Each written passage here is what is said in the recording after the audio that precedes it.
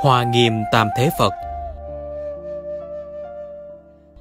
Tam Thế Phật là ba vị Phật đại diện cho Phật ba thời, quá khứ, hiện tại và vị lai, lần lượt đại diện là Phật Di Đà, Phật Thích Ca và Phật Di Lặc.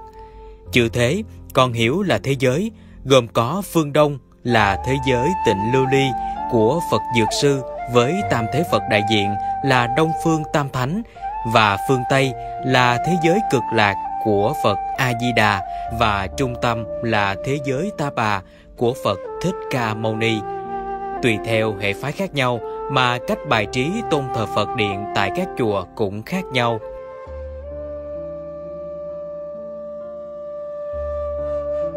Theo hệ thống tư tưởng của Kinh Hoa Nghiêm, Phật giáo Đại Thừa, Đức Thế Tôn đề cập rất nhiều về hình ảnh của hai vị Bồ Tát tượng trưng cho hạnh nguyện và trí tuệ, đó là Ngài Văn Thù Sư Lợi Bồ Tát và Phổ Hiền Bồ Tát.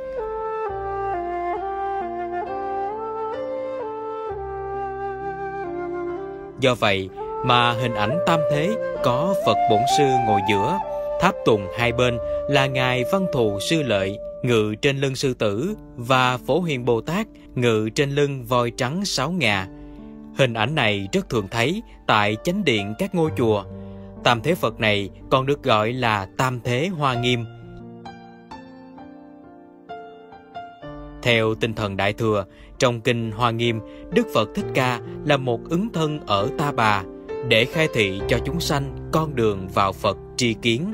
Sau khi ứng thân Phật Niết Bàn, những tỳ kheo mang hình thức giống Phật và truyền bá chánh pháp, tiêu biểu cho Phật tại Trần gian, gọi là hóa Phật. Với hoài bão tìm một cuộc sống giải thoát khổ đau sanh tử cho con người, Ngài đã từ bỏ cung vàng điện ngọc, dấn thân tìm chân lý. Sau 6 năm học hỏi và thiết thân thực nghiệm các pháp tu của ngoại đạo, Ngài đến núi Già Gia, nhập định dưới cội Bồ Đề. Qua 49 ngày tư duy, Ngài đắc quả vô thượng chánh đẳng giác. Từ đó Đức Phật bắt đầu hoành hóa lợi sanh. Ngài đến Lộc huyện giảng Pháp, độ năm anh em Kiều Trần Như, hình thành Tam Bảo, Phật, Pháp, Tăng đầu tiên. Cũng căn cứ vào Kinh Hoa Nghiêm ghi chép lại, thì Ngài Phổ Hiền Bồ Tát trong vô lượng Đại Bồ Tát từ tha phương quốc độ đến cõi ta bà đều trở duyên cho Đức Phật Thích Ca giáo hóa chúng sanh. Phổ Huyền là vị Bồ Tát đẳng giác có năng lực hiện thân khắp mười phương pháp giới, tùy theo mong cầu của chúng sanh mà hóa độ. Ngài còn được xem là người hộ vệ của những ai tuyên giảng đạo pháp và đại diện cho bình đẳng tính trí, tức là huệ thấu hiểu cái nhất thể của sự đồng nhất và khác biệt. Ngài dùng đại hạnh hóa độ chúng sanh để đưa họ từ bờ mê đến bến giác.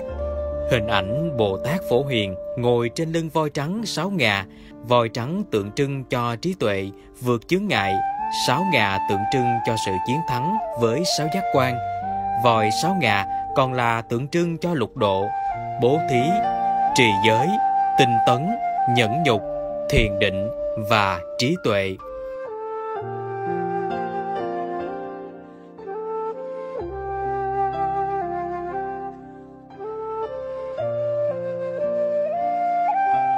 Còn trong Phật giáo Tây Tạng, các vị luận sư xuất sắc thường được xem là hiện thân của Ngài Văn Thù.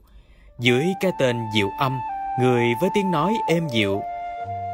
Văn Thù Bồ Tát thường được tán tụng trước khi hành giả nghiên cứu kinh điển, nhất là thuộc hệ Bát Nhã Ba La Mật. Văn Thù là vị Bồ Tát tượng trưng cho kinh nghiêm giác ngộ, đạt được bằng phương tiện tri thức Ngài xuất hiện trong các kinh hoa nghiêm, pháp hoa, duy ma cật, được xem là vị trí tuệ bậc nhất trong hàng Bồ Tát, thường thay Phật nói Pháp. Ngài Văn Thù, Sư Lợi Bồ Tát, được họa tượng ngồi trên mình sư tử là biểu thị cho uy lực của trí tuệ. Đầu có nhục kế, tay cầm hoa sen, biểu tượng cho sự xóa khỏi vô minh, phiền não, đưa đến trí tuệ viên mãn không ô nhiễm. Qua đó cho ta thấy hình ảnh tam thế Đức Phật, Thích Ca và văn thù sư lợi, phổ hiền Bồ Tát là biểu thị cho sự lợi tha, một cách viên mãn tròn đầy.